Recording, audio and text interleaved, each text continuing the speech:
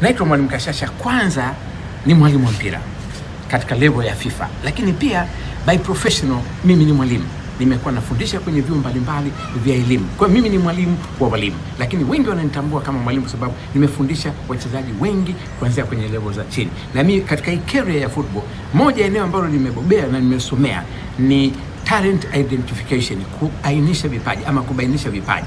Lakini kwa sababu labda mfumo wetu umekuwa hujakaa vizuri, nimeona si busara sana, wakati mwingine nikajikita sana kwenye mpira, nikaacha kazi za umma kwa sababu ya kukosa mwelekeo ulionyoka. Lakini naamini siku moja nchi hii tutafika. Ukiangalia na Mheshimiwa Rais kwa mfano, katika hili tukio la leo, kwa namna jinsi alivyoeleza, unaweza ukahisi aliwahi kuwa mwalimu, kwa maana kukaa darasani kusomea soka, kwa sababu amezungumza mambo makubwa ya msingi. Kwa mfano, ameiasa timu ya taifa kwamba ili tushinde tunahitaji teamwork ambayo ni silaha kubwa katika timu yote ile duniani, hata ingekuwa na wachezaji mahiri na wenye vipaji kuliko akina Messi. Lakini la pili akazungumza ile determination ya kushinda, tunasema eh, competitive spirit, yani lazima tuwe na dhamira ya kupambana.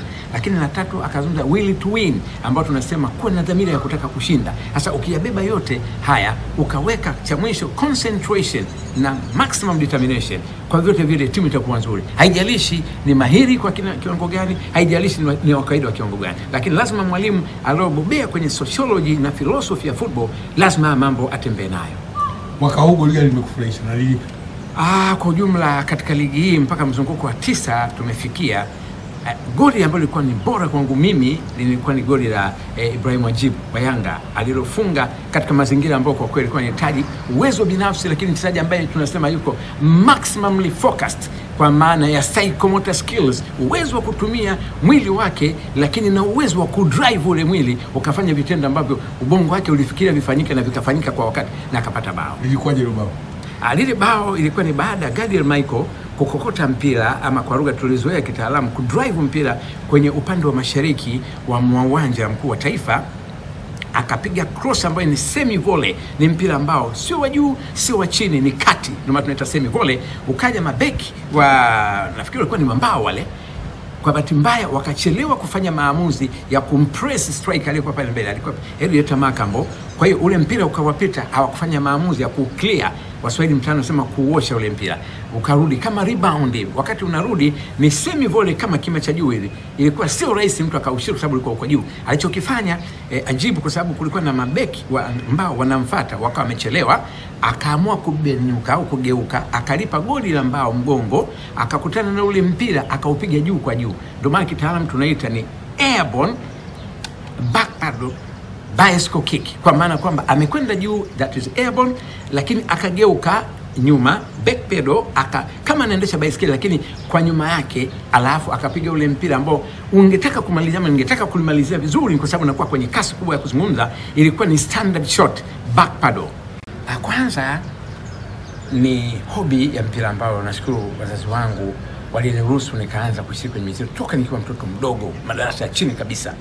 Nimekwenda vile, nimeingia kwenye shule, nimesoma, nikawa nacheza, nasoma, nacheza, nikabahatika kumaliza shule. Baada ya kuingia serikalini kwenda kufanya kazi, nikaanza kuwa mwalimu wa timu ya mkoa. Nikiwa bado nacheza mkoani Mara kwa nimefundisha timu ya mkoa kwa ajili ya Taifa Cup. Miaka ile, bado Taifa Cup iko kwenye form, nikiwa bado ni mchezaji, lakini nimekwenda vile, nikaanza kuingia kwenye kozi nyingi mbalimbali zilizoorodhesha ndani na nje ya nchi, lakini pia ni mtu ambaye naendelea kujifunza na kusoma na kusoma na kufuatilia soka la dunia kwa namna yoyote ile, lakini bado nafanya correspondence na vyuo vikuu mbalimbali duniani kwa ajili ya kujua mabadiliko ya sayansi katika fani ya soka duniani. Na ndio maana wakati mwingine nafikia mahala naweza nikakwambia penalty inatakiwa ipigwe kwa nyuzi ngapi, umbali gani. Ni vitu ambavyo viko kwenye mpira, na ndio maana kuna watu wanafika level wanakuwa madaktari kwa ajili ya football na hii ndio inapelekea kwamba hata Tanzania unaweza ukaona hizi timu kubwa kila siku wanajaribu kuhangaika kutafuta walimu kutoka nje.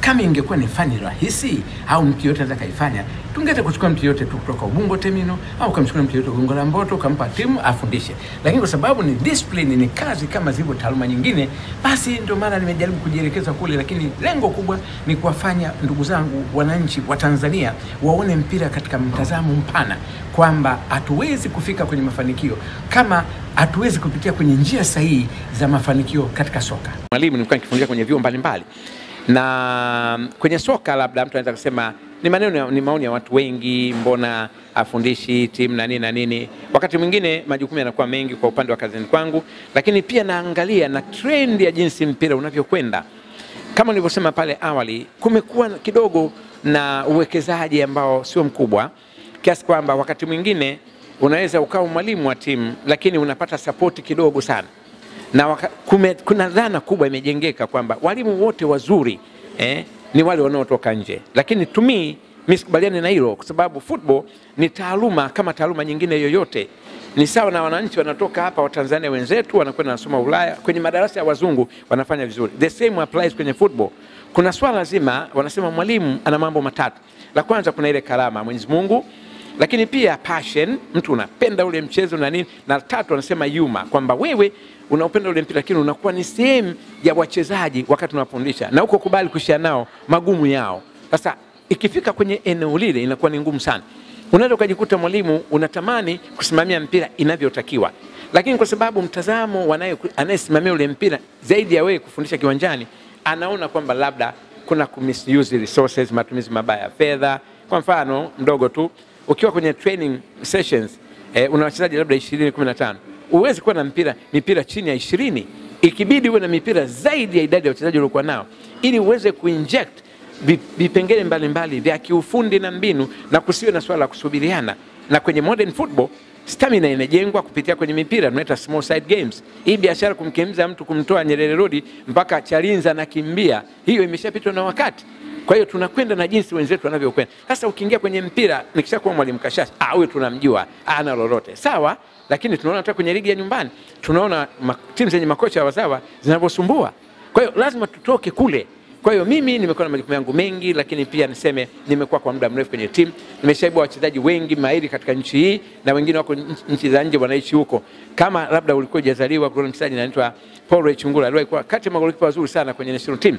Mimi sorry, nimemfundisha yule, nimemwibua from nowhere, wakina marehemu Niko Bambaga. Na wengineo wengi wa kiwango kile, lakini ni mtu ambaye nimekuwa najaribu kuendelea kujifunza na kujifunza, lakini kama nikiamua na, natamani zaidi mimi kufundisha watoto wadogo, sababu katika career yangu ya coaching pia nimesoma masuala ya talent identification, namna ya kubaini kipaji na ukakiendeleza.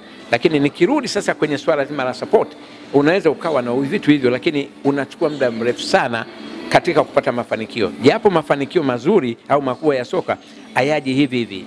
Mwezi wa nane nilipata bahati, nilikuwa nimeenda Europe na nikafanikiwa kwenda mpaka Belgium, na nilipokuwa Belgium nikaenda kwenye kituo kimoja ambapo walikulia wakina Lukaku na kina Kevin De Bruyne, ambapo walianza kwenye akademi wakiwa watoto wana miaka mitano, sita, saba.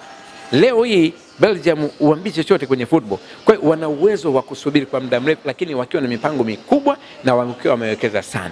Kwa hiyo huyo ndio mwalimu Kashasha ambaye najaribu kuungana na Watanzania wengine wenye interest ya mpira na wenye taaluma ya mpira kuchangia moja mbili tatu kwa uelewa wangu mdogo, yale ambayo nafikiri anaweza kaa nasaidia kuondoa Watanzania hapa tulipo na kuwapeleka kwenye hatua nyingine, ili waamini kwamba football ni eneo pana, football ni sayansi, football ni taaluma, na hatuwezi kupata mafanikio kirahisi rahisi tu kwa kufikiria, ila lazima tufanye vitendo ambavyo vinatakiwa kwenda hatua kwa hatua, na ndio maana mimi nimekuwa ni muumini wa soka la watoto, kwa sababu kama una foundation stage, kama una msingi mzuri kule chini, unakuja kumpata mtu mzima na miaka ishirini, umechelewa, kwa sababu tayari ameshaingia kwenye mfumo wa jamii wa maisha ya kawaida. Kwa hiyo kumuondoa kwenye tabia zake za ajabu ajabu, ama sio za ajabu ajabu, lakini ambazo hazifanani na maisha na malezi ya mpira kwa vyote vile uadilifu na maisha ya kimpira kwake itakuwa ni ngumu sana. Wewe ni shahidi, tuna vijana ukiwa uwanja wa Taifa wana vipaji sana, lakini ukiwaambia waende kucheza mpira Ulaya wanachelea, wanasita.